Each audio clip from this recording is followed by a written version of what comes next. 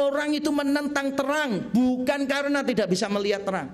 Orang menentang terang karena mereka membenci terang, mencintai kegelapan. Makanya Paulus mengatakan di Roma 1 ayat yang ke-18 sampai 20. Murka Allah nyata dari sorga atas segala kefasikan dan kelaliman manusia yang menindas kebenaran dengan kelaliman.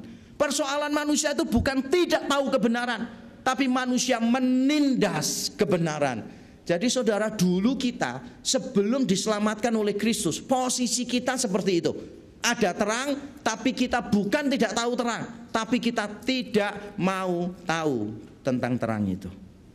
Alasan kedua, mengapa orang menolak terang? Loh, padahal terangnya sudah datang, tapi orang tetap menolak. Alasannya bukan cuma hati, bukan cuma hati, tetapi memang orientasi hidupnya jahat. Orientasi hidupnya itu jahat, perbuatan-perbuatannya jahat.